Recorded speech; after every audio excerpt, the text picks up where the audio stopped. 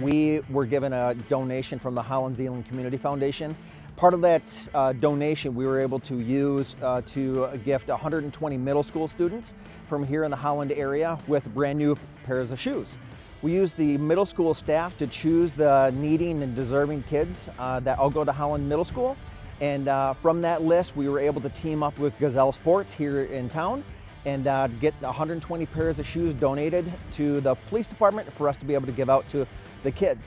And we were able to use Bouse Pool today as our venue to have a three hour open house for, for them and their, their families to come and get their shoes and have some just uh, fun time splashing around um, as they celebrated a pair of new shoes.